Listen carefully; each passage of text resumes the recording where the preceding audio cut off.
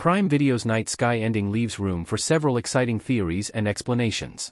Although Night Sky begins as a character study of a grief-stricken couple, its narrative soon unravels into a slow-burn sci-fi fantasy that involves teleportation, an interstellar cult, and alien bunkers. It initially uses its science fiction elements as devices to drive its characters' personal, human plotlines. However, the pace picks up dramatically in the last few episodes and builds a strong foundation for its cosmic conundrums, and although Night Sky didn't resolve many of its mysteries towards the end, it leaves viewers with more questions than answers. Night Sky's plot is split between two parallel storylines. One revolves around a couple, Franklin and Irene, J.K. Simmons and Sissy Spacek, who harbor a mysterious portal to another planet in their backyard shed.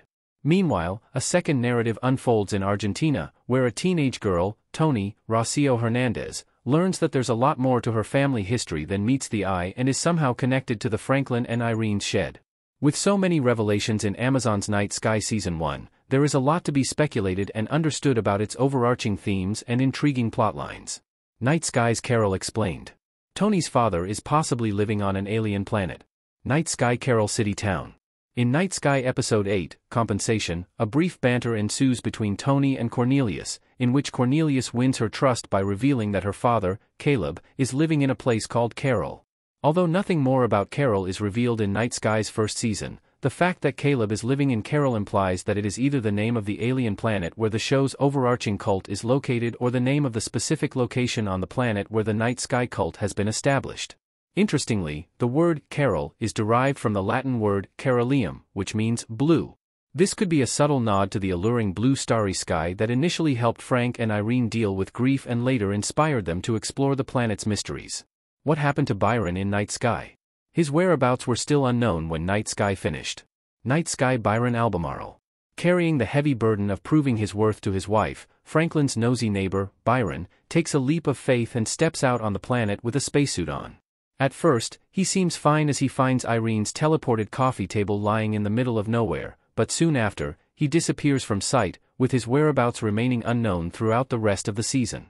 While, initially, it seems like Byron may have died, Night Sky's ending indicates that he could very well be alive and might have ventured off further into the ruins of the planet.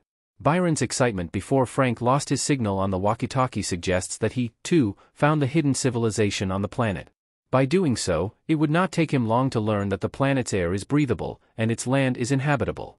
However, even if he did manage to reach the cult's dwelling on the planet, the cult's intolerance toward traitors and intruders indicates that they are determined to keep their existence secret and wouldn't welcome outsiders with open arms. As a result, even if Byron is still alive, his life is probably in danger. Why Denise left with Jude? Leaving felt like the right thing to do. Night Sky Episode 8 Denise Denise's decision to leave with Jude comes in tandem with a previous scene where she opens up to Franklin. During a visit to her father's grave, Denise pours her heart out and confesses to Franklin that she has not been too happy with her life lately. She further adds that her fears harken back to her father's struggles with depression, due to which she's thinking about dropping out of school. Franklin supports her decision and advises her to learn to trust herself.